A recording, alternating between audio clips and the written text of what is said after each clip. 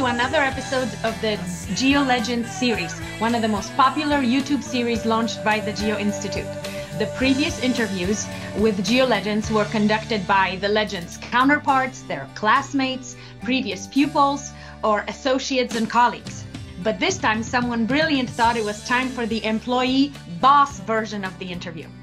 Today's GeoLegend interview is with the one and only Dr. Allen Marr of GeoComp, and I am the lucky employee that gets to interview him.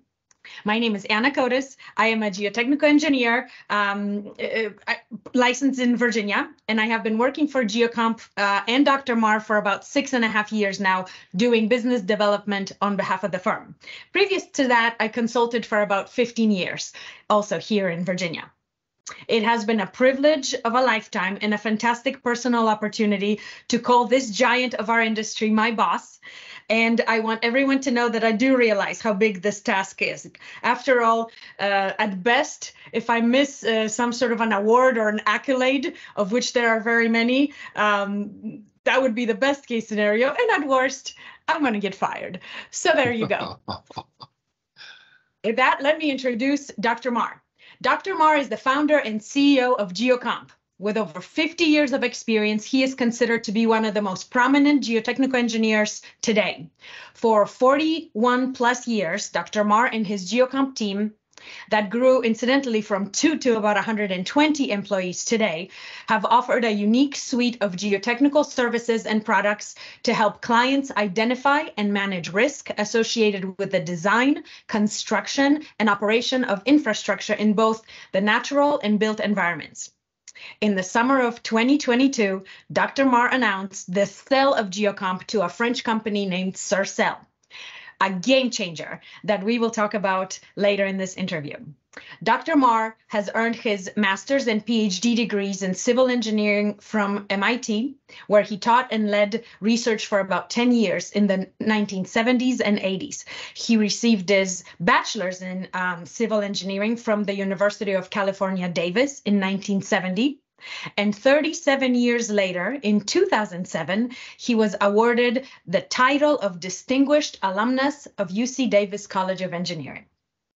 He was elected to the National Academy of Engineers in 2008 for innovative applications on numerical methods, risk analyses, advanced laboratory techniques, and field instrumentation to geotechnical engineering and construction. In 2009, he was elected to the Academy of Geoprofessionals, later becoming the Academy's president. In 2015, Dr. Marr was elected to the Moles, which is a U U.S. organization of preeminent tunnelers. He is a frequent presenter of lectures, keynotes, and workshops on various geotechnical matters, as well as risk management and real-time performance monitoring to help manage operational risk to infrastructure. Amongst numerous awards, um, in 2019, Dr. Marr was awarded the ASCE Geo Institute H. Bolton Seed Award and lecture at Geo Congress in Philadelphia, where if you log on to YouTube, you can hear me loudly clapping from the first row, as I enjoyed it very much. Um, uh, Dr. Marr's areas of specialization, I will add, are design and construction of large earthworks, including, including dams and levees, value engineering for earthworks and earth retention systems, active risk management, instrumentation and real-time monitoring systems, minimizing impacts of construction on adjacent facilities, mechanical and physical properties of soil, rock, and geosynthetics, and forensic evaluations and litigation support. With that, I welcome you, Dr. Marr, to the GeoLegend series. Thank you, Anna. It was very generous of you, and uh, we're honored to have you as a part of our team. I ah, think the audience can see why. the um, the the introduction could have been much longer, but you told me to keep short, as I had five pages of size 2 font of your resume to summarize. So if you take exception to this, this was probably the most difficult ta task of the entire thing, summarizing your many years of experience. But I am um, very excited to do this. I am privileged that Geo Institute chose and asked me to interview um, somebody like you. Um, and with that, let's get going. Let's talk about the current biggest news, uh, at least uh, you know in my professional life, which is was the uh, recent sale of Geocomp to a, uh, to the French company Sercel. Please tell us about it. Tell us what was the uh, primary motivation for each party in doing the deal. What does it mean for Geocomp, for employees? What does it mean for you? And really, um, what's next? Well, thank you. Yes, it is a very exciting time for us. It's uh, actually we're into this now about uh, nine months, I think, and it's going very well. Um, it, pretty much along the lines of what we expected. Uh, both sides have pretty well lived up to uh, to uh, what they uh, expected to happen. There's no big skeletons in the closet yet, so uh, we're not that there are any, but uh, it's going along really well. The reason for doing this was that Geocomp had reached about 100 to 120 employees and kind of plat- plateaued out. Um, and really felt we need a broader reach. We need more um, more bulk uh, underpinning us. Uh, so we needed a partner to grow to the next level. Um, and at the same time, too, I was approaching uh, being the major shareholder, uh, was approaching retirement and um, of some form, um, and uh, really needed to think about uh, how the firm would continue into the future, and uh, for uh, also how we would get um, positioned to give our employees a, a future pathway towards further success and further opportunity. So we were very fortunate to find that Sercel found us. Uh, they were looking for someone in our areas of expertise and uh, particularly in monitoring technologies because they was an oil and gas geophysics company making uh, geophones basically for offshore oil exploration and so they wanted to extend expend extend beyond the core of their business we were a good fit with our uh, work in uh, real-time monitoring of infrastructure, uh, which they had also developed some tools for. So, um, so that them providing us with a, a, good platform to grow for our future of our employees, and us providing them with access to the U.S. market and um, technologies in in the related areas uh, just made made a lot of sense. As we were uh, getting close to the end of the deal, we kind of discovered that Sercel's um, parent company, CGG, uh, which was also strong in the oil and gas business, but they do more with high level data processing of geophysics information, was their effort to go beyond the core was to look into the mining industry, to expand their tools used in oil and gas into mining and we do work in mining and fit well within part of their expansion plans there. So it was really, really a just almost serendipity that we found each other and that it's uh, worked out so well. Oh, that's very exciting. We uh, all 120 of us can't wait to see uh, how this all evolves. Very exciting stuff. You mentioned retirement. I didn't. I know you still have a lot of uh, um, uh, tasks to complete, including finding a replacement CEO. Isn't that correct? That's right. Part of my job is to is to find my replacement, um, and uh, that's a challenge. bet. I bet. So again, you mentioned the word retirement. For the professional viewers that have known you for a long time or not that long time, what is the one item on your bucket list in retirement that nobody would guess uh, you would like to experience? Oh, that's interesting. Uh, number one item on my bucket list is to cut down on the hours that I spend working. I've worked all my life and uh, long hours, weekends, and it's time to uh, reduce that somewhat. Uh, I love geotechnical engineering and construction, so I don't plan to withdraw from that and sit on my porch or stay on cruises like uh, but I do plan to cut back and spend some time with my partner, Dr. Mills, uh, to um, for she and I to um, do some travel. Uh, I've traveled all my life, but not recreationally. So one of our first trips will be to the um, to uh, South, southern Africa. To uh, I'm fascinated by the big herds of animals that uh, move around, and so we want to go see that. We'll probably go to you know uh, Galapagos Island at some point soon. Um, so seeing seeing some of the natural wonders of the of the world uh, is is a bit high on our bucket list. Okay, well, you know what? Nobody would guess Dr. Marr uh, on safari or at the Galapagos. So this is uh, great stuff, great stuff. Okay, on to our next question. Your geotechnical consulting career began while you were still working um, on your PhD at in um, MIT at MIT in the early 70s. Tell us about your jobs uh, before you owned your own company and uh, were a big shot. Tell us about the events that led to you starting Geocomp, please. Well, I was really fortunate to, uh, to be kind of in the right place, the right time. Uh, as I think about it, um, I, I, at Davis, I took on extra work to uh, get myself through college. Uh, in the summertime, I worked. My father was a tunnel a superintendent for a tunnel contractor, major one in the U.S. So he got me a job in the tunnels. So I started out as a miner uh, running drills and loading dynamite and mucking out. And so I got a really great exposure to the practicing end of rock mechanics and and construction, and it served me well my whole life. A lot of uh, I grew up on a farm, so that combined with the construct firsthand construction experience really tuned my common sense that we refer to. Uh, that served me well for for my entire professional life. Um, at um, I left Davis and took a job with a firm called Woodward Clyde Consultants, which was a national firm uh, that was one of the leading geotechnical firms at the time. Um, very professional, high-end uh, services provided by them. Their their principles were really oriented towards being the best, and um, so I got a great training uh, right right from the get-go, working with some some names that uh, at the time were uh, leading geotechnical engineers. Very, very fortunate. Um, and uh, they gave me some latitude to do do some interesting work, some interesting things. Uh, Woodward Clyde was eventually bought by um, URS and is now that whole operation is uh, now part of um, a much larger group, um, uh, AECOM.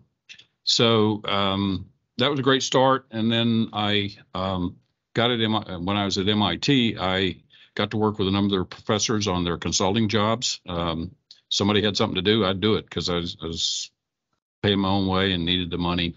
Uh, so I worked with people like Chuck Ladd and Anwar Wissa and uh, uh, and then eventually with Dr. Lambe.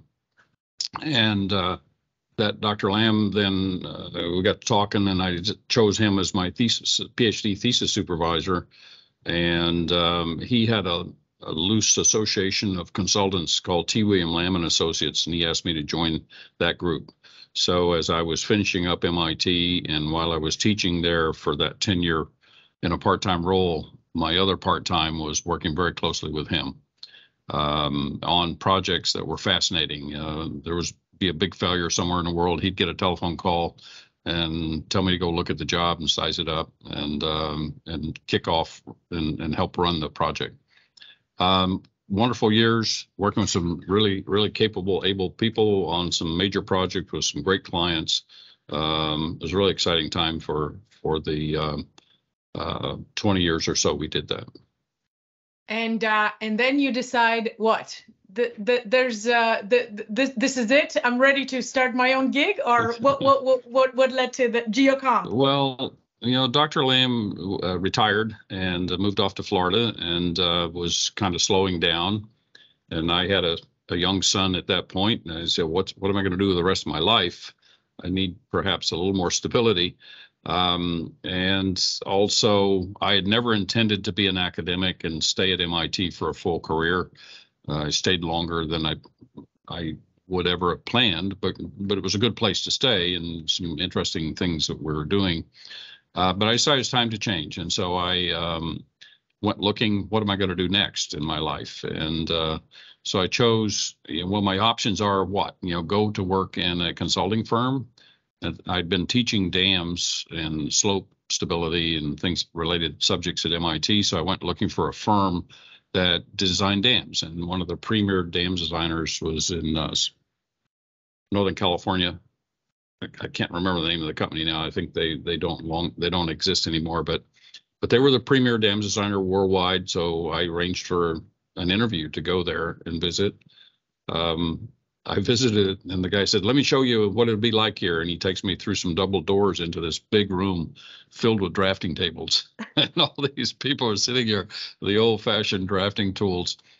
Immediately, I knew that wasn't me. And I very politely went through the rest of the tour, said goodbye, never talked to him again.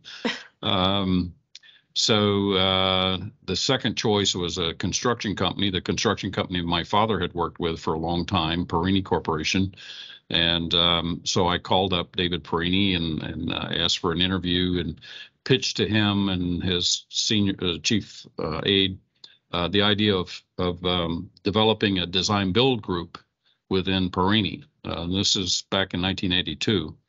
Pretty advanced thinking at the time. It was clear design build concepts were coming, uh, but it's just they were already in Europe, but it's just a little early for the U.S. So they politely welcome, uh, wish me good luck, but it's a little early for them.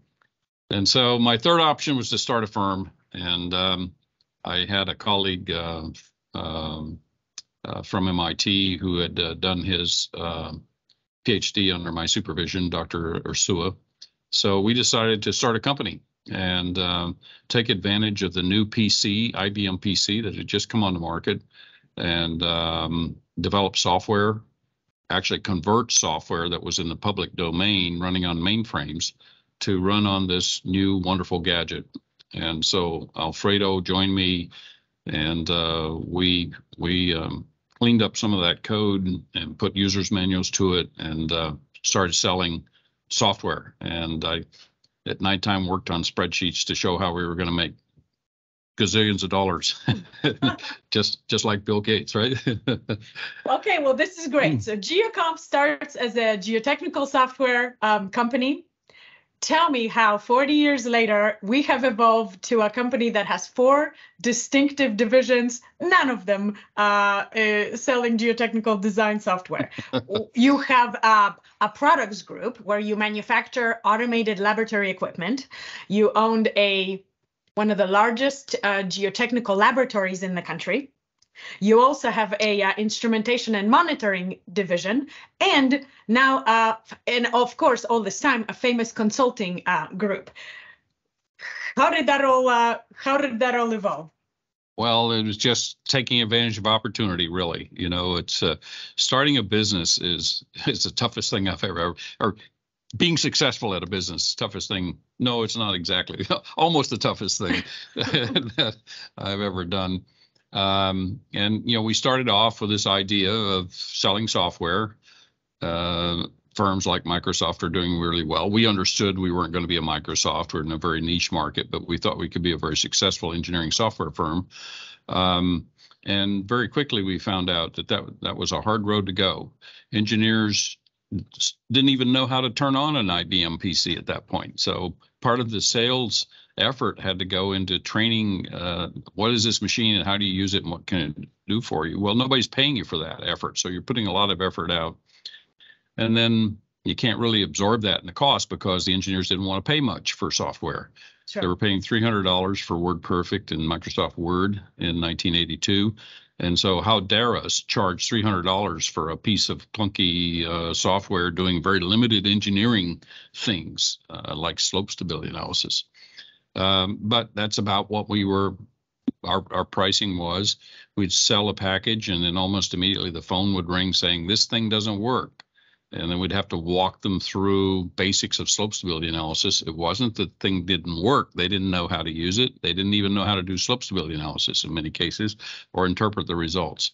So it was a painful process, you know, with hours and hours spent with some some um, customers um, trying to uh, trying to help them along. And admittedly, too, in the early days of PC software, there were a lot of plunks and bugs and problems.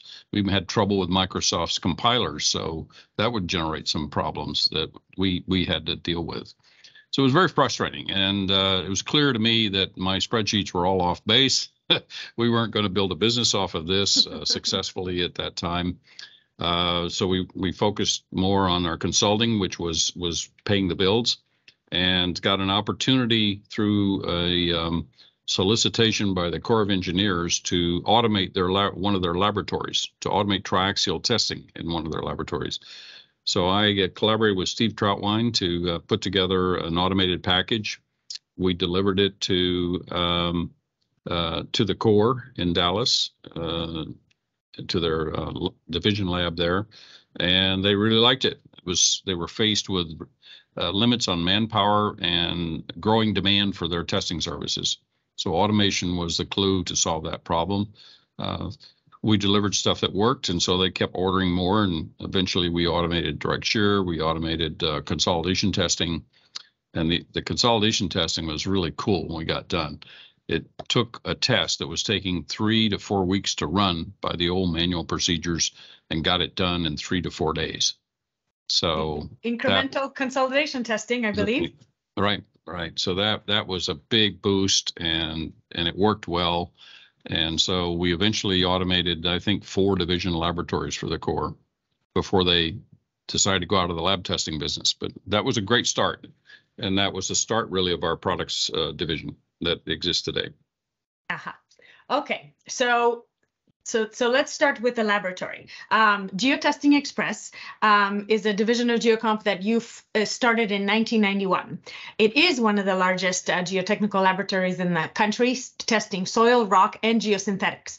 But in 2000, you were you wrote a paper uh, titled "State of Practice: Geotechnical Laboratory Testing," and in that paper, you actually wrote about the negative direction that lab testing was trending in in the 80s. Please elaborate why you wrote that paper and your role in that you think you played in improving the overall practice of geotechnical laboratory testing. Yeah, I think that's an interesting phase where um, I was out as chief salesperson for the company and uh, and uh, in, in, talking with potential clients and customers and and um, we we were well along in their work with the core at the time. So I was kind of feeling out what the market might be for uh, commercial laboratories to use automated testing uh, buy the equipment at that point. And uh, I got kept hearing back the feedback is well we don't we don't rely on labs anymore. They're too slow, and the quality of the work is is questionable many times, and and our customers are becoming more and more demanding for quick delivery of our designs. So we really don't have we don't think the lab fits in the future. I said, well, how do you get soil design parameters? And the answer usually was presumptive values which is a new word to me at the time, but presumptive values basically said, well, we'll we'll use the description of the soil types or our experience in this area and pick some conservative numbers and we'll base our design on that. And that'll allow us to satisfy our client's need for a quick design, a fast response for design, um, and avoid the delays that are coming out of lab work. And sometimes those delays would be three to six months uh, on a significant project and that really concerned me um, that um, and it didn't have to be that way because we had already demonstrated that we could really speed this process up. So um, we had been selling some equipment to laboratories uh, in the universities and that was going well. So we just decided to um, open up a laboratory. And uh, interestingly the first customer didn't choose to buy automated testing from us they wanted a gradation analysis. and, and, the guy said, I'm sorry, but I don't have any money. and so we did a free test for him, and he became one of our best clients for many years. So, oh, well, there you go. So, uh, really, uh, kind of like a chicken and an egg with the lab and the products group uh, coming hand in hand. But um, uh, what's next for the for for the future of products of laboratory equipment? Is there uh, do you see still more innovation more automation more cool stuff to come as in in, in that field?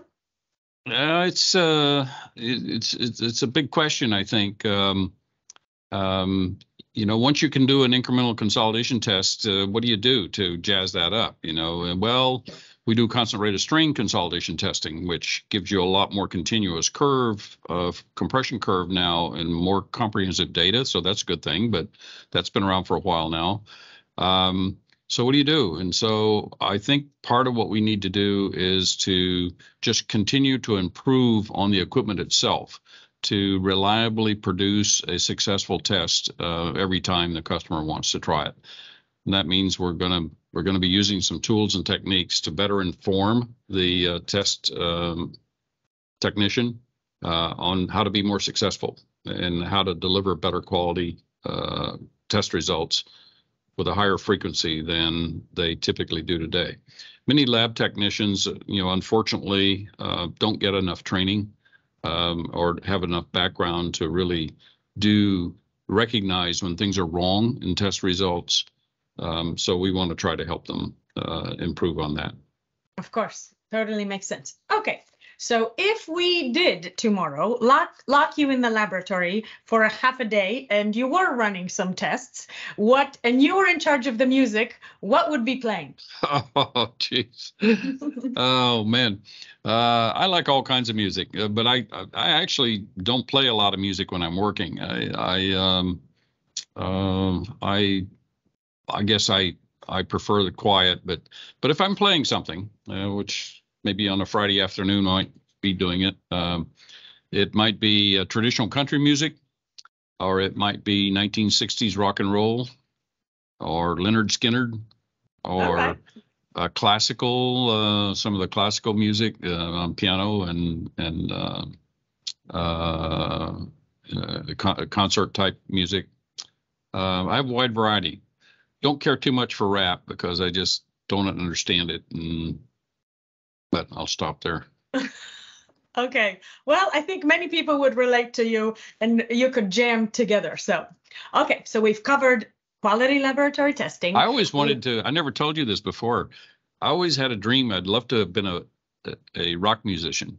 Oh, because you know I'm I'm a I'm a product of the '60s in Cal- California, you know, but I had a qualifier in there. I want to be a successful rock musician. Oh well, of course, I can see it. You you made it in engineering. I think that there's a p- potential for you in the they now we're all about second careers, Dr. Marr. This uh, could be the me. start of something beautiful. I can't play a thing, so uh, no, not going that way. okay, all right we uh, we talked about lab testing we talked about automation of laboratory equipment and naturally i'd like to transition to a, a, a topic uh, i believe uh, very dear to your heart which is instrumentation and monitoring uh, in the built and natural world but i'll have you tell us about it in a little bit of a different way. Let's talk about uh, your role in the Big Dig, um, the mega project in Boston. Uh, for those that are not in the know, the mega project in Boston in the mid 90s to reroute the central artery of I 93 through the heart of the city. What was your involvement? Was it a successful project? Tell us about the challenges, if you wouldn't mind, and your proudest moment. And of course, throw in the story of the winning bid, please. Ah, okay. So, Big Dig was the largest uh, construction project in the United States at that time. And um, um, it was right in our backyard, but we we were busy trying to clean up software and didn't pay too much attention to it in the early days. Um, and so we missed out on the work to pre you know pre-construction work. Didn't weren't, involved much at all in any of the designs. We had a couple of small consulting assignments to help local consultants, but um, but then I got wind that um, uh, from a colleague, uh, Tom Neff, Dr. Neff, um, uh, that um, they were having real troubles with their instrumentation program, and that they felt it was really important to have a strong, uh, reliable monitoring program for the project because this was going right down through the heart of the city. And there were major high rise buildings and important structures on each side of an excavation that was going to go up to 110 feet deep into Boston Blue Clay. There had mm-hmm. been a history of problems with excessive deformations uh, of uh, excavation support systems um, involving major lawsuits in Boston. So they wanted to try to avoid that. You know, we didn't talk about it much, but what they're really doing is trying to manage the risks. That's what we talk about today, but in those days it was more just just trying to minimize uh, damages. And um, so um, Tom approached me a couple of times because I'd done a lot of instrumentation monitoring on MIT research projects about the feasibility of having having a separate company, not the contractor, but a separate instrumentation focused company uh, do the monitoring for them. Maybe the maybe the um, contractors could put in the instrumentation, but then somebody else would take it over and collect the data, process it, help them understand it. And I said I thought it was possible. And then the next idea was, well, do you think we could do this in a bid environment so it goes out like a construction contract? And I said that was kind of novel. And but I, I said I we'd certainly be interested in something like that. And so that and and their consultant at the time was um, uh, uh, John Dunnicliff, a well-known instrumentation man of the time. So he wrote a good, solid specification uh, for the instrumentation contract. Uh, they they put it out for bid, and uh, we decided to bid on it. We were we are a small company. I think we are about 20 people at the time, and um, with with most of that focus back on the laboratory products and consulting world. So this was a this was a big, huge jump for us to take on this this big project, which would be a six-year contract, uh, unit price based. So you got so much money, whatever your bid price was for reading inclinometers, processing the data, collecting piezometer data, processing that, keeping up with the graphs. Um, and so we we uh, we took it on, and we felt we had a real potential advantage by doing it a whole different way that really automate the heck out of everything from the beginning. And I, I laid down a rule for our team is I don't want anything on paper. I want to grab the data, get it into digital form and into a computer as at the earliest possible step. That will cut down on errors, that will speed up delivery of data to the client, and it'll make us much more efficient. So that's the way we went about it, constructing our bid, put it, preparing our bid. And uh, it was a public opening, so I went to the bid opening, sat in the second row, so uh, uh, I could hear, and uh, mm-hmm. and uh, so they started reading the bids and the first one was like, I'm making up these numbers because I don't remember. 'em. I remember my number, but I don't remember what the others were. Okay. So it was like 12.6 million. That's a big number. Yeah. But I breathed a little sigh of relief because I knew we were below that number. And then there was another one that was like 11 something, and then one 10.9. And oh boy, this is going to be tough. Um, this is going the wrong way. So then they opened uh, ours, which was 10.6. And now I've got, there were 13 bids. So now I'm down, there's still six or seven uh, to be opened. And um, and so they opened the rest of them. And they, it, at the end, after they opened the last one, uh, we were low. And so the story you want to hear is that I hear coming from the back of the room who the bleep is Geocomp? oh boy. and someone next to them said, Oh, don't worry, they'll fall on their face. Oh, well. so karma for wishing anybody bad news. Okay, well, that's great. so now you won a $10.6 million um, contract that night after winning it and going home.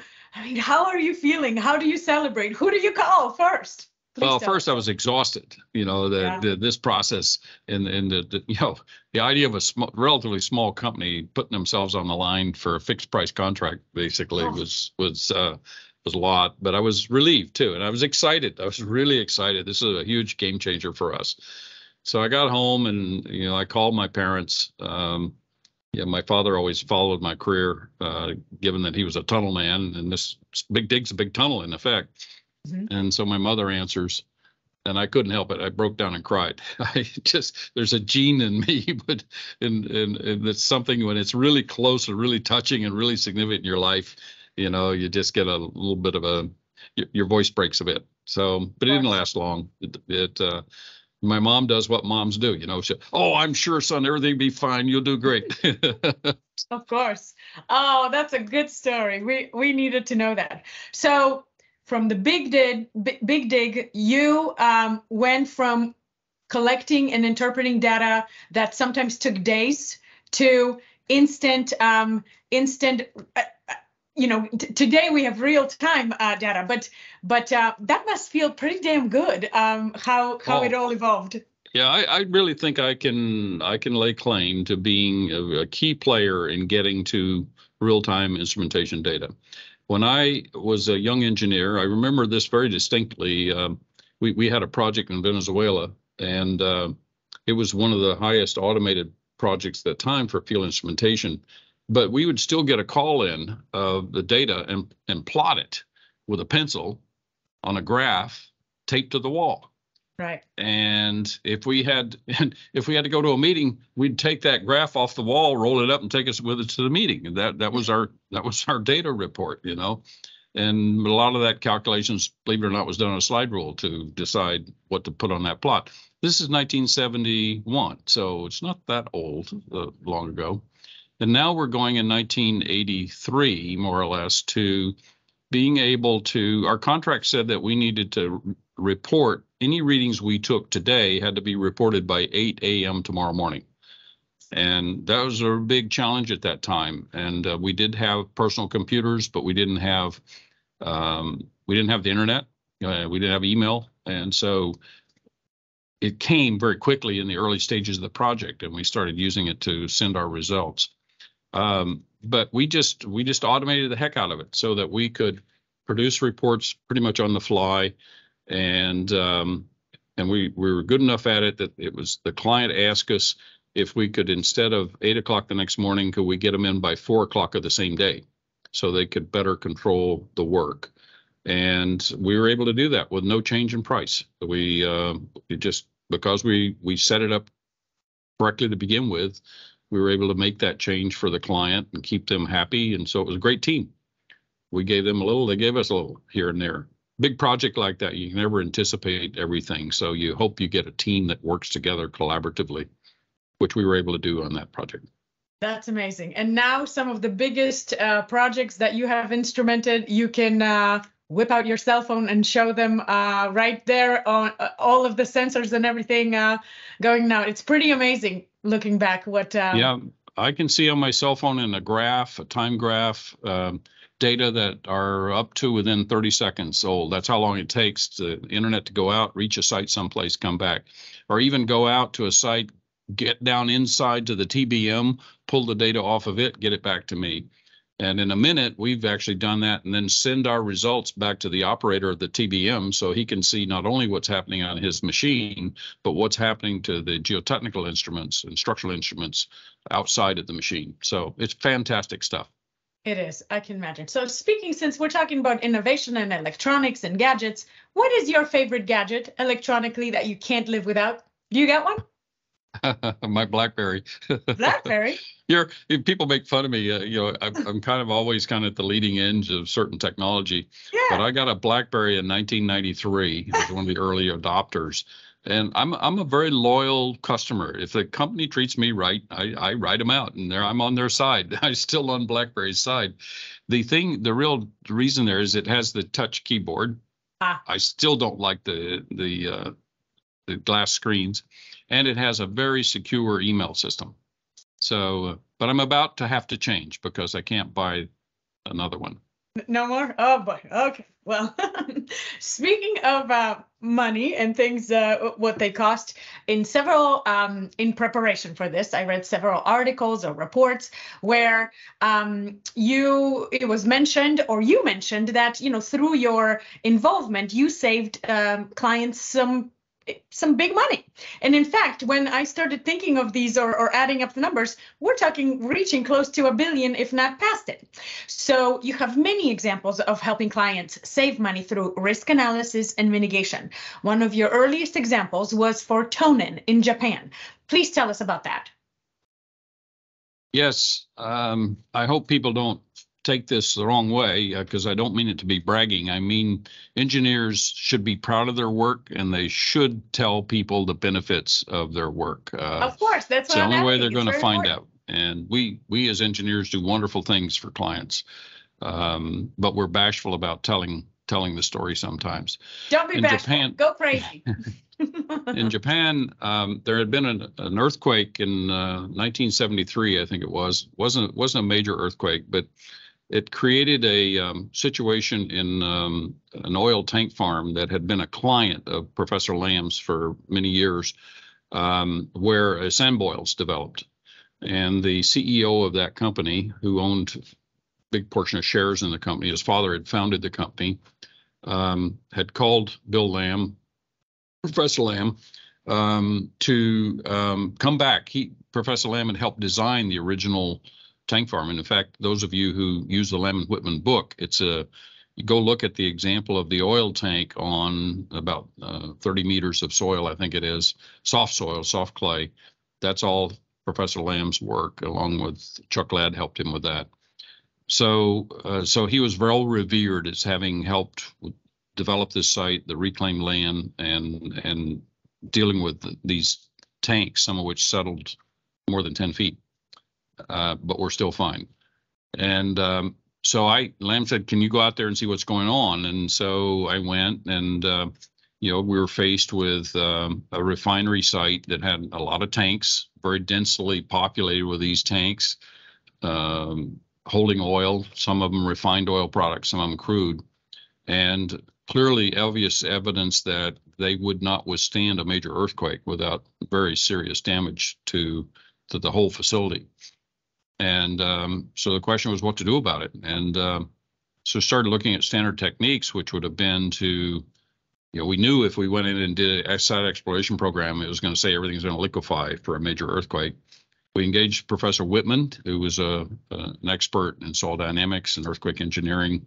Very fortunate to have him as a colleague at MIT, and um, he and I flew out and looked at a few things, and and um, so the question became, how big of an earthquake really should we consider, and how we fix this? Because the the standard technique would be to densify the soil. Well, it had already been densified by standard techniques. It was a silty sand, and vibroflotation does not work very well if you've got too much silt. So, what are we going to do? And um, so I hit upon the idea uh, one night in the middle of the night um, of, well, you know, thinking back through the whole liquefaction process, it's one where where you build up pore pressure and um, and you exceed the strength, the cyclic strength ratio of the material, and it fails. But uh, if we could increase the effective stress in the soil, make it stronger, it could withstand that higher cyclic stress ratio.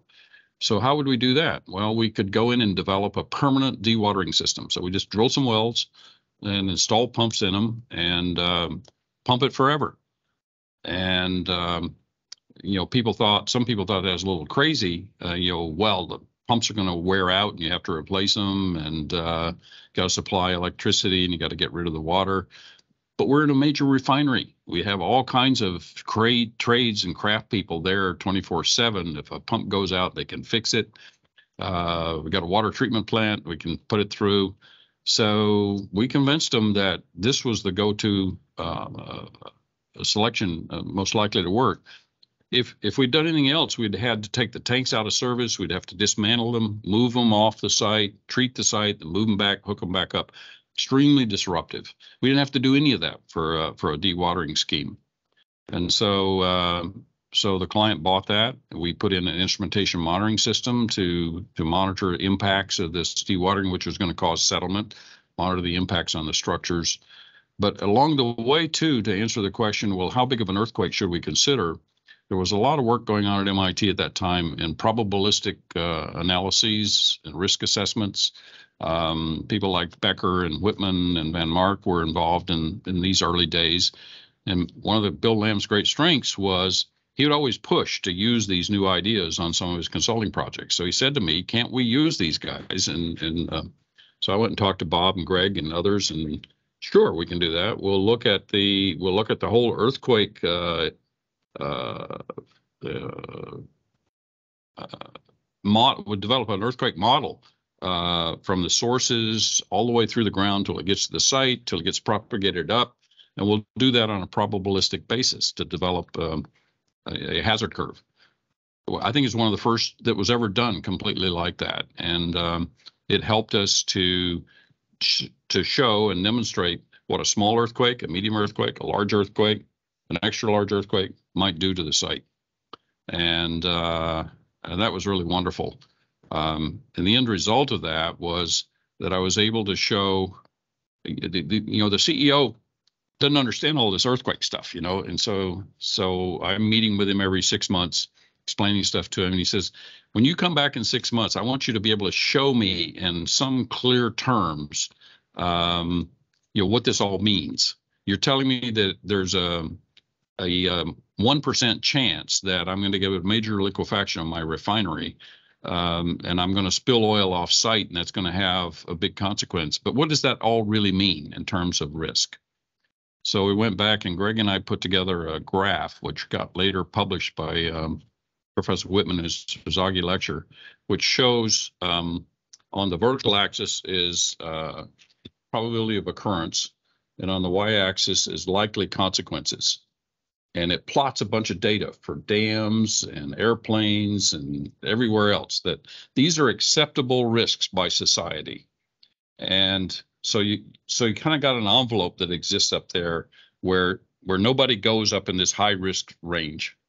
And we plotted my client's data and it was up in that high risk range you know.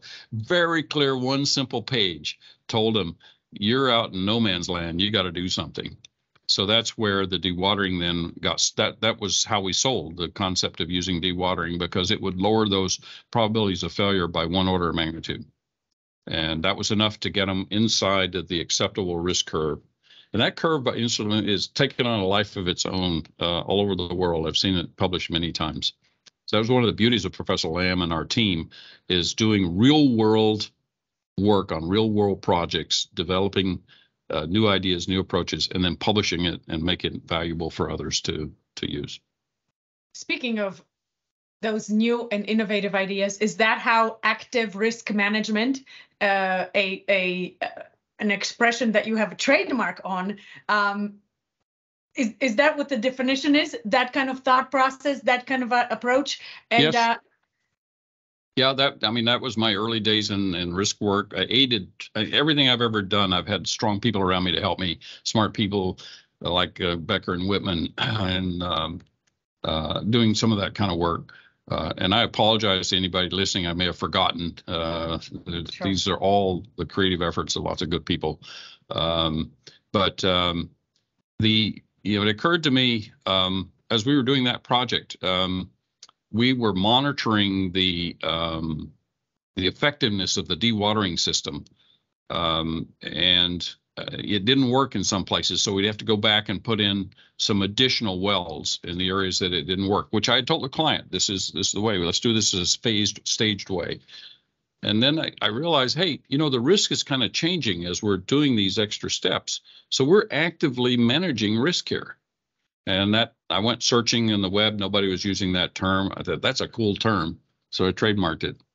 And and the idea is that you can do a risk assessment, but that's static. That's at one place in time based on the information you have at that time.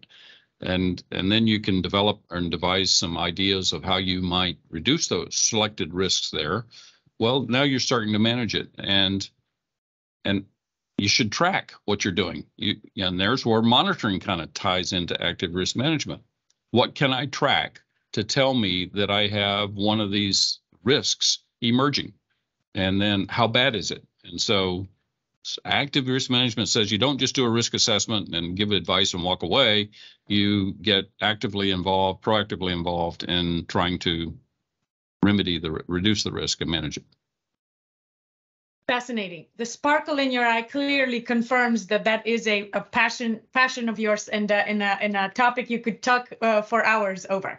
Speaking of uh, what you just mentioned, that you had so many people who influenced you, aided you, helped you um, in in in how you thought and in, in the solutions to the projects that you reached. If you could have one um, one evening, uh, one person to have a beer or a glass of wine with, uh, who would it be, Dr. Marr? Oh, uh, uh, I I find that scenario generally fascinating. You know, everybody's fast interesting, and I've had good fortune in my life to have met many of the leading geotechnical engineers of our time, uh, from Casagrande down.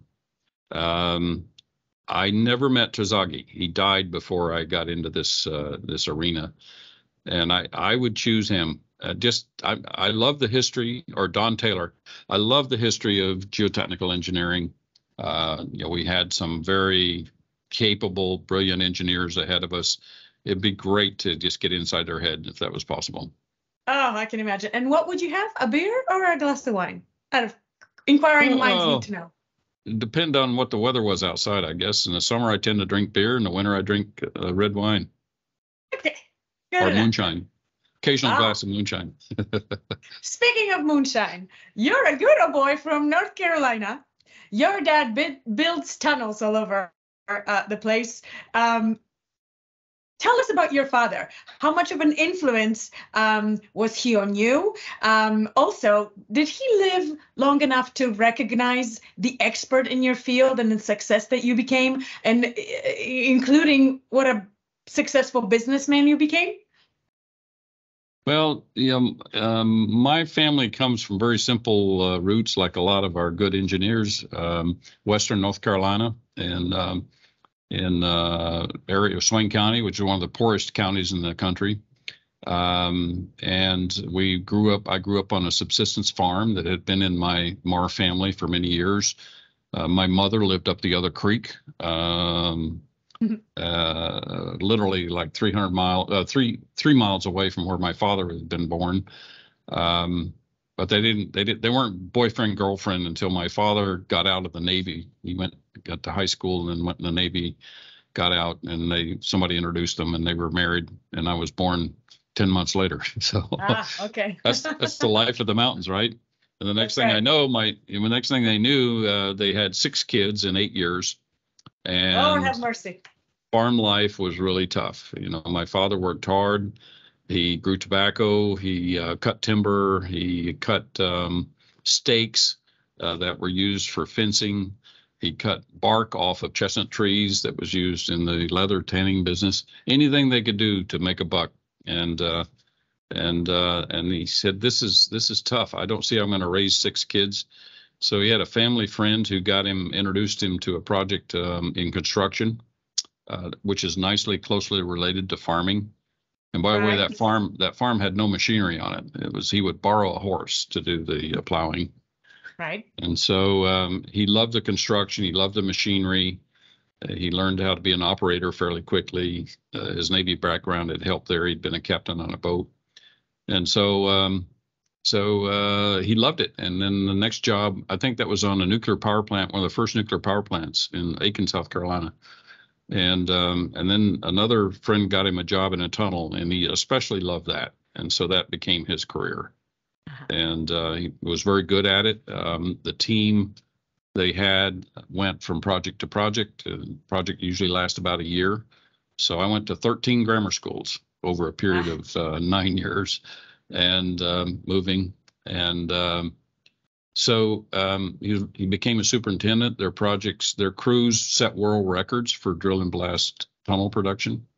And this is just a guy from the hills of North Carolina, you know, aided by a bunch of people that came out of uh, Western North Carolina, Eastern Tennessee, and uh, West Virginia. And we'd all travel together from one project to another. So, um, so uh, you know, my father retired. My father and mother retired, and uh, he'd been kind of tough on me. Um, generally, he didn't really understand all this university stuff.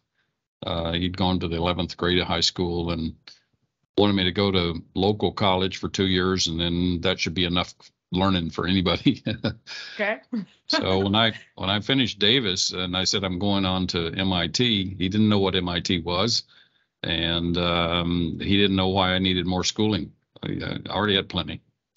But um, years later, he started to understand it a little bit more, and um, my father died of lung disease, partly from the tunnel work and partly from other causes, and uh, and uh, in his last days, I was visiting him in a hospital. I think this is a story you wanted me to tell. I was visiting him in a hospital, and um, and uh, he was in and out of lucidity, but he had a moment of clarity, and he calls me over and he says, "Son, I want you to do something for me." Sure, Dad. What is it? And let me just back up a little bit. Um, my name is William Allen Marr Jr. My father's name as an adult was Allen Marr. He was born as William Allen Marr, but he hated the name William or Bill, so he had it legally removed from his from his uh, name. And uh, his grandfather's name was William also. So um, so uh, he says, son, he says, you got to do a favor for me. He says, I've, I've, I really changed my mind. He says, I, I, I want you to make sure that my tombstone says William Allen Marr. And what that said to me in my read of that was his way of telling me, I am very proud of what you have done. I'm very proud of the name you have made, and I want to be tied to that. That was very touching to me. And uh, it is very touching, and that's how I I would interpret it too. So um, so that's a good story. Thank you very much for sharing us. Now, we we touched on technology in several of your answers, but um, what's one more skill that you would like most to learn? Oh, I, I would love to know more about AI and machine learning stuff. I think that's fascinating and has a lot of promise. And you know, if I was if I was cleaning off my desk and getting up tomorrow and 10 years younger, I wouldn't waste any time but to dive deep into that. Oh my goodness. Well, hopefully it'll be part of Sourcell slash Geocomp one day. Um, all this uh, new stuff. Thank you. Um, I think I think there's a lot of lot of stuff going on in AI. It's wasted time, wasted effort. You know, people just playing with numbers and don't. You know, to me, the key is to put a physics-based model underneath the stuff that we do, and then use AI tools and techniques to to inform it and uh, do a better job of uh, diagnosis and prediction. Uh, speaking of prediction, uh, Hurricane Katrina devastated portions of the Gulf Coast and lower Mississippi River Basin, and New Orleans in particular. But the event also had a major impact on geotechnical engineering practice. As a major contributor to the engineering studies emanating from this impactful event, please describe uh, your role on this work, what lessons you learned about geotechnical shortcomings uh, uh, that were discovered. Yeah, that's a big question. We could be here for a while, but uh, I I In think uh, yeah the uh, when I when I first I, I, was involved in a number of ways. One is um, that um, soon after the the event when the interagency uh, performance evaluation task force was formed by the Army by the Corps. Um, uh, I was asked to have our laboratory run some uh, direct simple shear tests and and uh, to measure the the uh, strength of the material coming from uh, 17th uh, Street Canal. I was a huge honor, and uh, to be sure I did it right, I called my friend Chuck Ladd over to the lab and uh, observe every step we were doing in running those tests. And so we sent him off, and I didn't hear much. And sometime later, I, I, saw that Professor Duncan was giving a lecture at some geo event so I made sure I got there. And uh, during the course of his lecture, you know, he mentioned our tests and how they had helped him know how to make use of the other data. And man, that meant so much to me. You know, it just that you know an eminent engineer like Duncan was taking our work and making use of it, and it just just really really got me. Um, and uh, so then that was a relatively small uh, piece of work by us, but I think it was a significant piece of work. Um, then I was, um, we were retained by the um, U.S. Department of Justice uh, to help them in deal with a, a class action lawsuit being progress, uh, aggressively pursued against the U.S. government, um, claiming that it had failed in its duty to protect the people and that had been flooded and that they had not been adequately compensated for the damages they had incurred. And I didn't know at the time, but I later, uh, as I was getting ready to go onto the court uh, stand to to testify, the the um, attorney for U.S. Department of Justice said, "Allen, get a good night's sleep. There's only 600 billion dollars riding on that." "Oh my God!" I think he said 60 to 600 billion, but uh, but um, in the course of, of doing that case, we got an opportunity to work with some great people, Tom Brandon, uh, Francisco Silva. Um, I'm going to miss a name or two here. Uh, it'll come to me in a minute. Um, and um, really, we went out and did some first class sampling and testing and measurements of, of um, permeability. Uh, we gathered every piece of data we felt we needed to address uh, what had happened over on the IHNC, the International Navigation Canal. And um, there have been two big failures there. So we did tests, we did explorations at both areas. And we brought those samples back and ran extensive testing in uh, our laboratory and did, you know, the best analyses we could come up with um, and um, was able to determine why the um, two failures on the IHNC had occurred. And no one before us had really explained it that in a way that fit all of the observed facts. Key things like uh, a gatekeeper or a, a, watchman had heard a popping sound, loud popping sound, and seen a gap in the I-wall. No one had, someone had thought a boat had come through the thing, but there was no evidence of that having happened. And we were able to piece that together and put together a failure uh, sequence that really fit all the known facts, and um, and presented that in the court. And the court ruled in the favor of the U.S. Uh, government, and that stopped those um, that and subsequent class action lawsuits. I felt a great sense of um, of satisfaction out of that work. That's some very heavy stuff um, that you have responsibility for, Dr. Marr. Is there, um, this many years into your career, is there uh, still something that worries you professionally, something that gives you heartburn, something that brings back uneasy memories? Do you lose sleep over anything professionally? I, well, you know, I really uh, am frustrated. I'll be honest here. And it's not so much worry, although it, it keeps me awake at night sometimes. I am really frustrated at how difficult it is to get opportunities to use the great tools we have. In this current economy, it's kind of a race to the bottom in engineering practice. It's who can do it the cheapest. I, I, I tell the story sometimes. Uh, I can do that job in three borings, a cloud of dust, report to follow soon.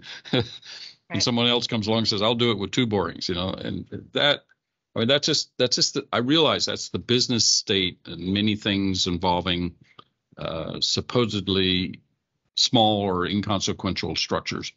But to me, every structure has potential risk to it, and some of the geotechnical risks are huge.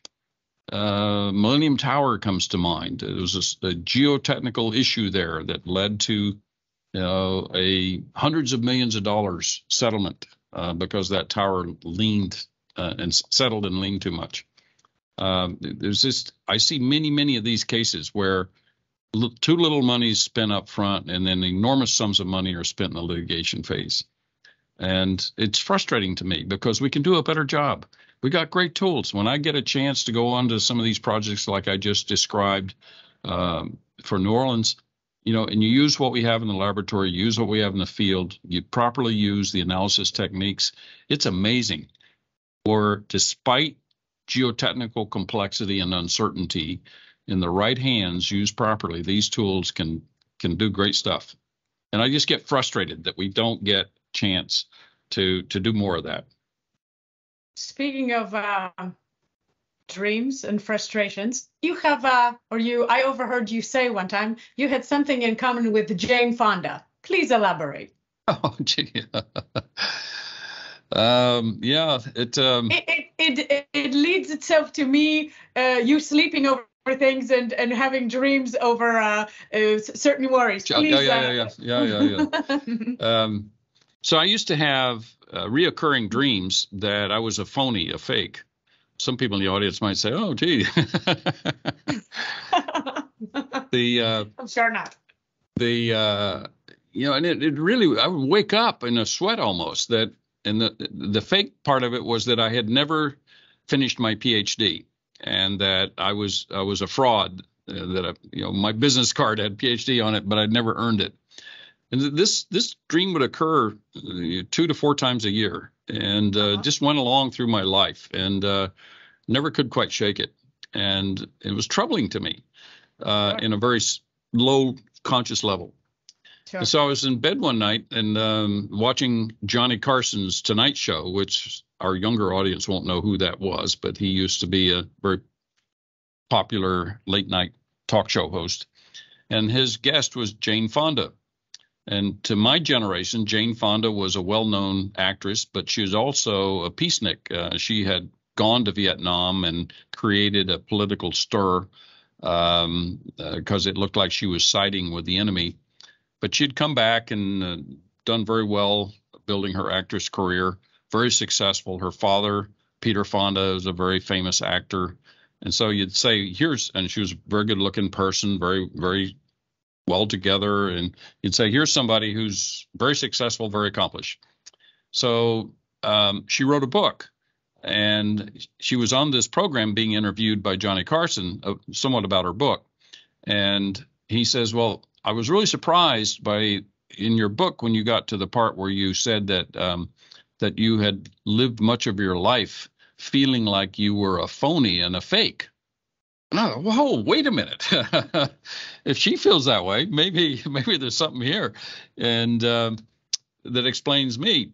Uh, but I felt a little comfort in the fact that someone as well accomplished as her might ha- share a feeling with me. Um, and so it went on for a few more years, and that continued to happen. And then there was an event that happened that just totally changed it all. Tell us about that, please. I um, I came home one evening and opened my mailbox, and there was a Federal Express envelope in that mailbox and I wasn't expecting any Federal Express thing, and so so I got it out and I opened it up, and it was the letter from the National Academy of Engineering announcing that I had been elected to the Academy. What? And that was just I mean it was just such a shock to me, and I mean just you know I'm I'm just I'm just a practicing engineer out there. You know, you normally think of the National Academy as all those professors, you know, and, and um, which is a misconception, but uh, but uh, I never have had that dream since. I never have had the dream that I'm a fake. So let's go, let's go. so uh, that that's a fantastic story. Everybody has, I think, the nightmare of some form or another. So I'm glad that you shared yours. Incidentally, just to be fair, your election citation to the National Academy uh, says for innovative applications on numerical methods, risk analyses, advanced laboratory techniques, and field instrumentation to geotechnical engineering construction. That's a big deal. Um, and uh, and no wonder you uh, erased all doubt about your qualifications after that one. That's a great story. Would you agree that it uh, would this be one of your greatest accomplishments? I was supposed to ask that question, but you a- answered it backward. Greatest accomplishment ever? Sure, this? sure. I'm very I'm very um, humbled, really, but to be a, a, part of that group of people, I'm pretty active in the National Academy events and uh, and I, Dixie and I go to uh, the annual meeting every year just because it's it's just such a pleasure to be around people who who are quite successful, but all all really are quite humble. They're, they're just they're just regular people uh, on a on a social level. So. Mm, amazing. Okay, changing direction a little bit. Uh, share with the audience, please, one guilty pleasure that you have.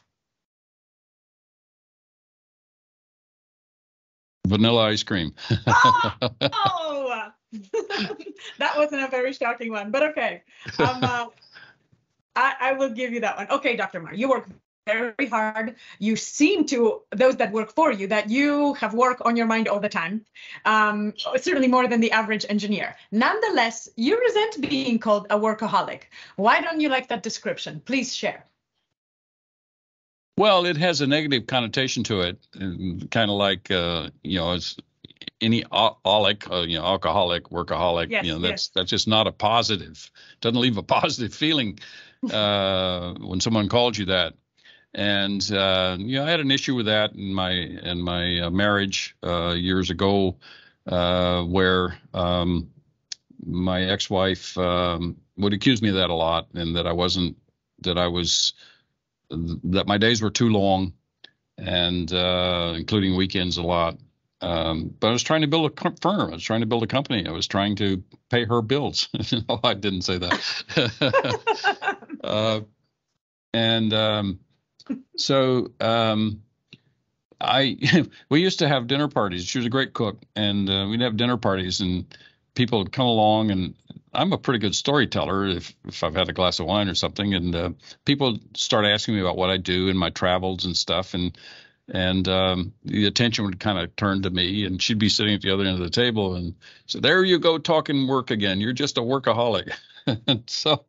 Uh-huh. So one, I thought about it. It really troubled me. And so one night I, I, I hit it on an analogy. I says, "Wait a minute. I think you're not being fair to me." I said, "If um, if we had brought in Arthur Fiedler here to have dinner with us, if we could manage that to happen, those of you who don't know, he was he was a very famous um, head of the Boston Pops, a big big um, music group in Boston, orchestral group. And I said, if we had brought him in here and he had sat here and people would be asking him questions about music and compositions all night long. And he would just be in his element and he would just go on and on about music, and that's all we'd hear about. There's no way in hell you would call him a workaholic. He's just passionate about what he does. And that's what I am. I'm passionate about what I do. I I I uh, I I don't work all the time. I stop and I I do some other things, but you know, I wake up in the middle of the night and I I think about projects. I think about things that are we're trying to solve or resolve or have troubles with. I can't help it. Sure, sure. To me, you are a geotechnical orchestra conductor. a conductor. So there you go. uh, in 1974, Dr. Marr, you collaborated with MIT professor Dr. Uh, Lambe um, and several state officials uh, and expert geotechnical engineers to uh, to testing embankment to failure adjacent to an I-95 corridor near Boston. Why was the test uh, embankment constructed? What surprised you and your team about how it failed? Uh, and what conclusions you drew? Tell us about the lessons that you learned. Tell us that whole um, story, please. Yeah, another great experience in, in my life. Um, you, you, can never plan these things. Uh, and so, so one of my advices to people is just be prepared for the opportunity to come and jump on it when it happens.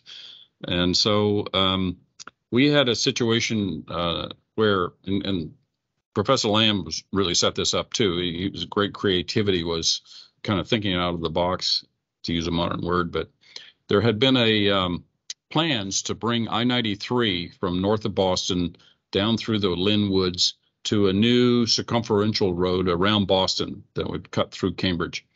And um, the environmental movement was uh, growing strong, and resistance rose about putting a new road through the pristine Lynn Woods. And so that plan was canceled.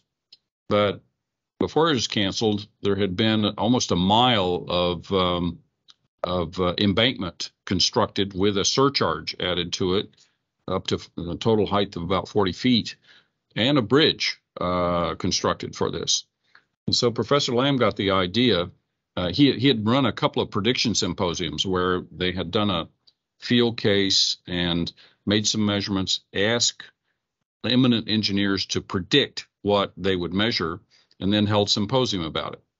I think the one before this was a excavation support system um, in Boston. So he did one for the for the for the uh, piles on the bridge uh, to measure negative skin friction drawdown from the clay that was underneath the bridge settling. And that was a different case. But mine was this one, and the idea on the embankment was that uh, it was on about 100 feet of Boston blue clay, some of which was very soft. And so we would go out and load this embankment up until we created a foundation failure. And we had asked world class engineers to predict ahead of time how much fill we'd have to put onto this embankment in order to create this this stability failure or this instability. Um, and we'd ask them to predict some other things like how much movement might occur at a certain point, what pore pressures might do. And um, so there were 11 predictors, I think, from all over the world who participated in this exercise. And then we held a symposium at MIT, I think drew in like 250 people, if I remember right. Don't, don't hold me exactly those numbers, but rough order of magnitude. So my job was to design this thing, get it constructed, get the measurements in, keep them secret, um, and then uh, organize a symposium, and then present, you know, have the predictors present their their approaches and their results, and then I would reveal the the measurements, and then we'd have a big discussion about uh, what what we're learning from this process. And uh, so that was that was I was still a young guy. I was this is 1973. I was I was in my early 20s, um, and uh, this was a big challenge because there had been a story, a situation just prior to this, and I forget how many years it was, where NGI had tried to do the same thing, and the abatement didn't fail. and so I got all these people coming. If I don't get this embankment failed, it's going to be a problem. Um, and so we started. I uh, had a couple of good graduate students helping me here, and we um, uh, we got a contractor and we started placing. We designed this carefully, 300 foot long, so we could get rid of the end effects or at least minimize the end effects. And then we didn't have enough money in the budget to instrument both sides of this embankment, which was a symmetric embankment. So we made put more load on one side than the other. We made the slope steeper, and theoretically, it should have failed to just that side and it should have failed out to the ends of the 300 foot loaded area, and that would be it. So um, I got a call one morning. The team had gone up, um, had passed. They had to drive past the site about three quarters of a mile, turn and come back around and drive into the site. So they reported that as they went up before they made the turn, everything looked good. And as they made the turn and came back, it was the the uh, embankment section that we were working on was gone, just had fallen into the depths. Wow. And uh, what do you mean it's gone? You know, I can understand a slide, but it's gone. And I said, yeah. And it looks like this big long crack is running well beyond the work area. So I get in my truck and I go look. I couldn't believe it. You know, we had had a, created a failure to both sides in the 300 foot area that we loaded. And then on the part that uh, on, on the part that we had steepened up, the failure had extended down the alignment some 1,300 feet, and then up the other side some five or 600 feet, if I recall. I, I may be a little off on, on those, but I mean, this thing was supposed to fail 300 feet long, and here it is almost 2,000 feet of failure. Fortunately, it was an abandoned embankment and nobody cared. But I would have been in deep trouble if um, if there had been useful structure left on both sides of that. And I think that's a great lesson for everybody. There's, despite having all of this power, nobody anticipated a failure of that type. Nobody predicted it would fail to both sides. Nobody, nobody predicted it would fail beyond the loaded areas. None of us. And I'll, I'll, I'll, I'll plead guilty as the first one. Um, so that was just a shocker, and it's a real humbling experience as to how this whole geotechnical field really works. Sure, I bet. So uh, you just described a very thought out, systematic process of uh, reaching conclusions. This one maybe uh, I, am sure you got all the right answers after that particular uh, one case scenario, but no, I didn't. I didn't. that's that's a sad thing you know, I I had to move on to other things. One of my regrets in life that I've had a lot of these ex- interesting experiences, but never really had time to chase them down. Why did it fail for such a long distance? Never never went back to that, and it bothers me that we never really uh, had the opportunity to to go answer. That's an important question. We also measured excess pore pressures there. I think went something like plus 75 feet above a static. And uh, we never really, that was a surprise. We never really had a chance to go dig into that. And at the time, we probably didn't have the tools. Today we do. But um, so, so you're soliciting for about a mile section of abandoned uh, embankment uh, to get a redo with all no, the new no, technology. No, I think something? I'd, I think I'd take the measurements we had from that and go back and reevaluate them based on present day knowledge. Sure. Sure. Okay. Uh, so methodical processes, thinking through uh, uh, using common sense to get at solutions and using all of your best practices and all of your tools that you have. But how about do you ever have just an aha moment where you jump out of bed and yell eureka? Do sometimes solutions to uh, problems uh, come up that way? Or is it all between the hours of eight and five at your desk with a notepad? Please elaborate. No, no. I I'm amazed at how often um, I'll wake. I, I have a bad ha- tendency to wake up in the middle of the night and I can't go back to sleep, and so for a while, and so I'm sitting there ruminating over various things, and, and most yeah, mostly uh, business or geotechnical related, and, and I'm often surprised that some random thought will just come racing through. And, wow, wow! I never thought about the problem quite like that. That's that's an interesting thought and the real challenge is to grab onto it and hold onto it somehow because you're not going to remember it in the morning. And so I have a tendency sometimes to write it down um, or do something that might help me remember that. Um, sometimes in the shower, it's amazing. These are common stories, but in the shower, a thought will just, and I, I find that they're, they're not organized, linear kinds of deductive thinking. It's, it's just a thought comes through your mind. It's almost like totally uh, unconnected to what happened just before it, but it connects to something you're doing in life or something you're working on in life. You know, I had that happen. We had a big major project, a major dam failure, and we were trying to model that that failure in um, in in uh, FLAC, if I recall right, and um, uh, it just wasn't working and I standing in the shower, you know, one morning it just occurred to me, wait a minute, we don't have that right. We're not modeling that right. We need to switch this piece. And so I came into the office and got with the team. And two days later, we had the failure mode represented in that model beautifully. And, uh, you know, that just was grabbing some idea that raced through your mind and don't let it, don't let it get away.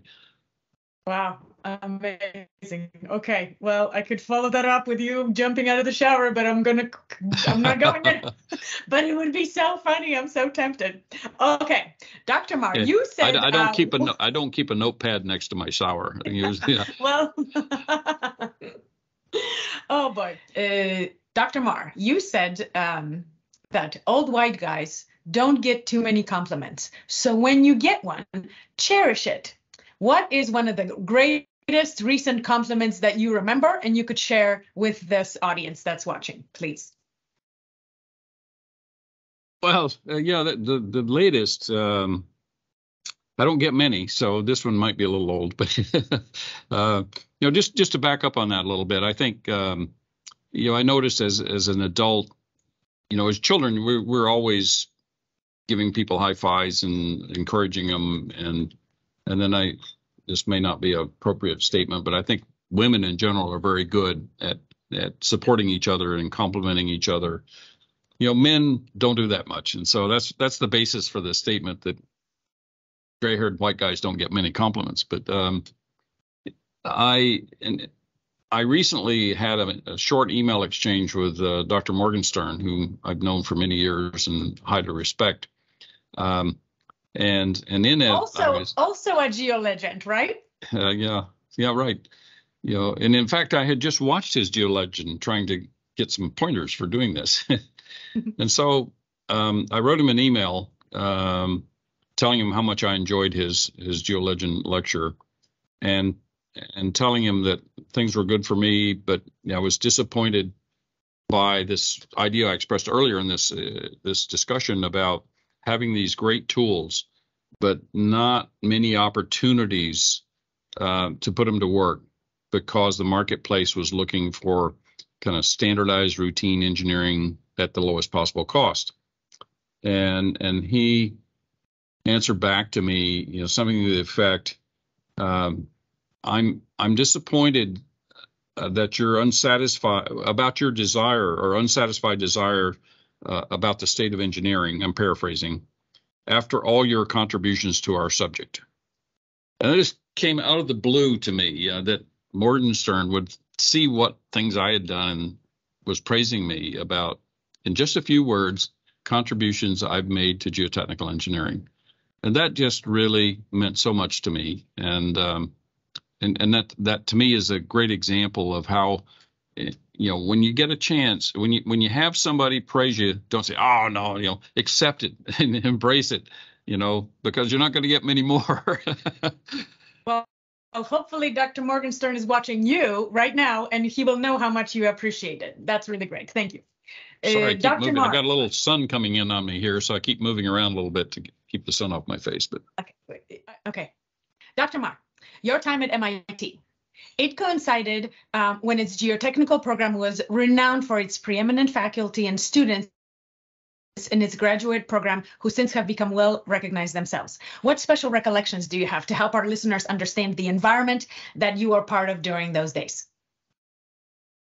yeah, well, it starts with me just being um, really surprised that I got accepted to MIT, um, and and um and, and I arrived in and uh, how smart uh, all of my all the graduate students were. I mean, it's just it's just unreal.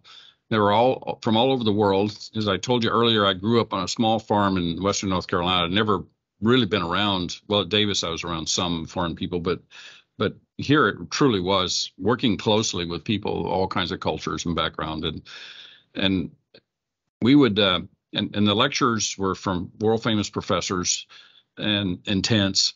And so after in the afternoon, we typically gather in the third floor hallway, which has sunlights overhead, and um, discuss something that might have been presented in the lecture and get into a discussion of it. And I remember very distinctly trying to participate in that and saying something about something Bishop had done or wrote, and and um, and someone said, "Well, that's an old paper. You didn't read his paper from 1969 and something where he totally changed and then went."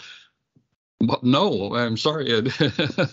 and so it, it was uh, it was like I, I started saying, "Geez, I better keep my mouth shut because uh, I don't know much about this stuff, and uh, these people are much better informed and much smarter than me."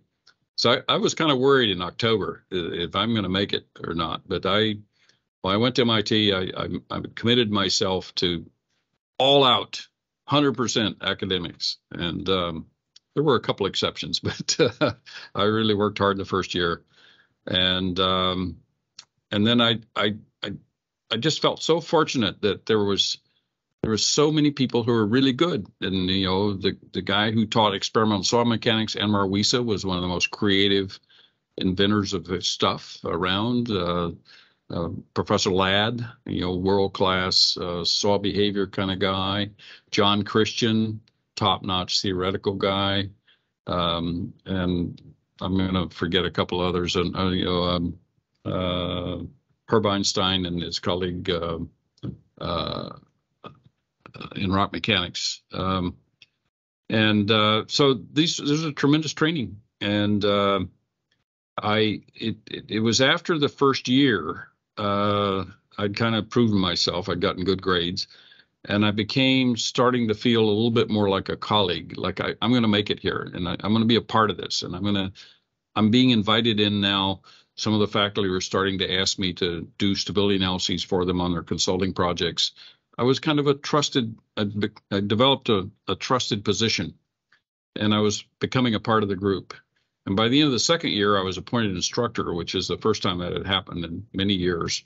Um, which kind of a position below um, assistant professor, and uh, and I went to faculty meetings, and oh man, I I was I was I was riding high, and I was doing some interesting work in consulting and making some extra money, and um, life was good.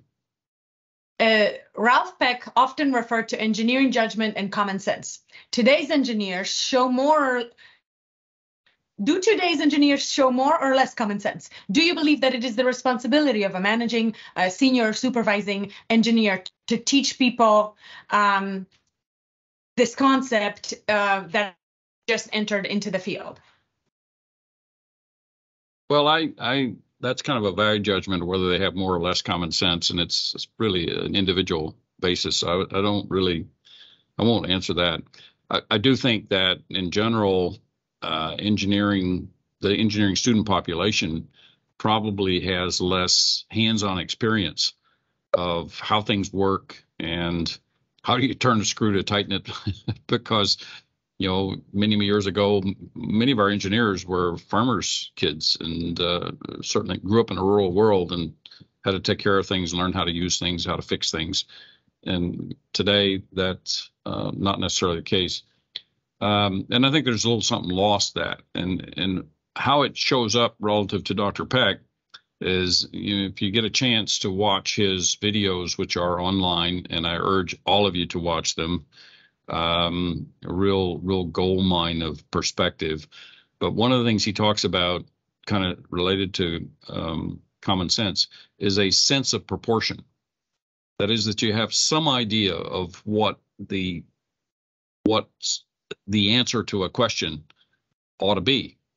You know, so that you know you look at a tree out there and and you're able to say um, it's 12 inches in diameter as opposed to six feet in diameter. Um, you make a calculation of how much um, the foundation is going to settle, and you have some sense that, gee, you know, something like one to two inches or one to four inches makes sense. But if I get 12 inches, that just that just seems out of out of scope, out of totally out of real, real realism. And so having that sense of proportion or that common sense, as some would call it, is really important. As we go more and more to um, uh, tools, um, computer tools, even smarter computer tools. They have a tendency to give us even more and more outrageous answers sometimes. And you got to have some way some ability to look at that result and say that just can't be right. I need to do i need to do some more research on this and um, i just urge uh, you know I, I even have trouble with my own staff sometimes that if we're going to be doing a complicated computer analysis you got to kind of know what the answer is going to be so that you can make judgment on the validity of the answer that you get you you could get the wrong answer because you got the wrong model. You've made a mistake in the input. You've um, missed something in how you're characterizing things. So, you know, in one way, that's why case studies are so important to us too. They help help us get a sense of proportion, sense of of um, mag- magnitude. So Dr. Peck really really pushed hard on that, and I support that. Speaking of staff, you've hired, I'm sure, many, many uh, engineers throughout the years. What impresses you about about young engineers, and what gives you a good feeling that they will be a superstar? Traits that you value in uh, in young people that you hire. Well, I think um, um, dedication uh, to to what's important to you and a willingness to persevere, the willingness to get through the hard times and keep pushing. If it's really important to you, you know, stay after it. Um, starting Geocomp was really tough uh, in the early years. and we didn't make much money, and uh, it made it tough on my family. Um, and I could have just given up and had nothing to show for it all. But I, but I was confident that we were on to something and that it would pay out. So it was hard work and perseverance that really played a key role. Young people, what I look for is is um, do they think clearly? Do they do they have critical thinking skills? Do they have some sense of what we call um, emotional intelligence? Um, in other words, they don't get upset easily and they don't you know have all kinds of drama going on around them. Um, and um, you know, do they have a work ethic? And um, do they do they have some idea of where they want to get to in life? Hmm. And that doesn't mean for a real young person that that you know that at 60 you're going to be such and such. It just means that you know, are you going to do you want to teach? If you're coming to work in our firm as and you got a PhD, is your real objective to get some training and experience here and go back and teach, which is perfectly fine. We just like to know so we can align what we're asking you to do and teaching you to do to um, to be aligned with your uh, professional goals, personal goals? I think it's important for me and I'm sure others to hear from a person who has reached the level of success and now sold his company. What in um, in people that work for you and probably themselves have big dreams, aspirations of themselves, maybe one day being successful in engineering. What disappoints you the most? Oh, um, to invest in someone, uh, take our time, our effort, energy, invest in someone, and they abandon us. Yeah, I, that I'm sure that hurts first time and it hurts on the 100th time. I bet. Okay, switching topics. Do you watch TV? Oh yeah, some some. um, favorite movie or favorite actor? Give us something. Uh, I mean, this is silly, but I watch. We watched the whole series of um, uh, Frankie and Gracie. I get a big laugh out. I get a big laugh of that. okay, that's one I wouldn't guess. So that's uh that's great. Oh, I know, I have one. We Go just ahead. watched the whole series of something. Uh, geez, some something goes to Paris. Uh, Emma goes so, to Paris. Um, Emma. what? Yeah, Emma. Emma goes to Paris. Good for you. I never watched it, but that's cool. Now I will. Okay, Dr. Marr, give me, uh, considering that you have been involved with uh, professional um, associations that that build up our industry and our science and uh, and and advertise it, promote it, strengthen it.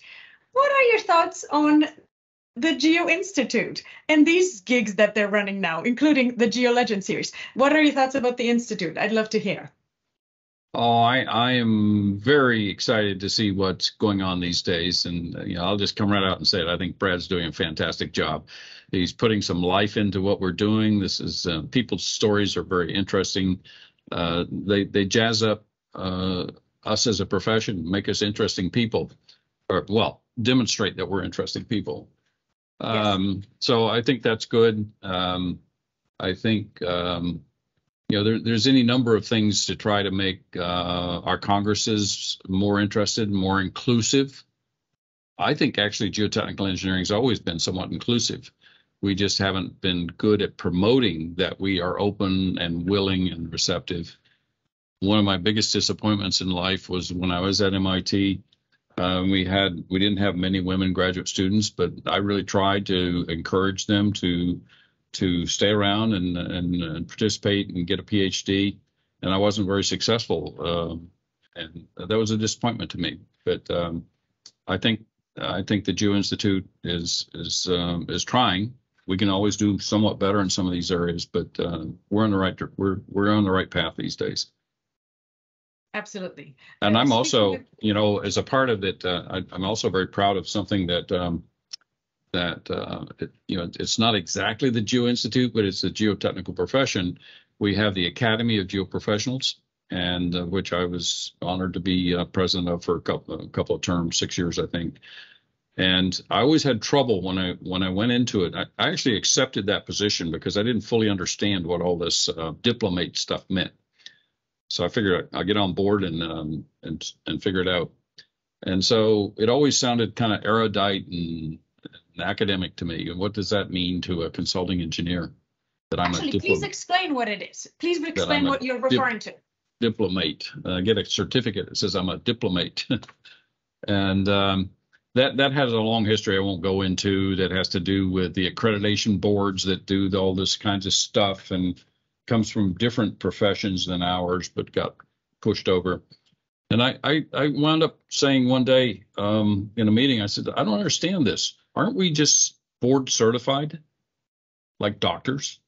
Well, yeah, that's that's what it is. I said, well, why don't we call it that? You know, uh, you know, we we've got we got a we got a person here we've just um, recognized as being highly qualified.